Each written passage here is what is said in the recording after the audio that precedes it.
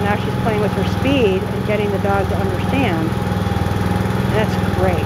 That is so great. Unbelievable. Very nice. Beautiful. Yeah. Is it a purple leash? It's not the leash.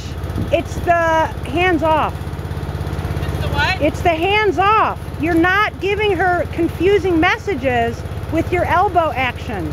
Ah. And isn't this a nicer way to go than oh like? God. I'll be, I'll be, in shape. so how do you like the Har-Vest? Love the Har-Vest.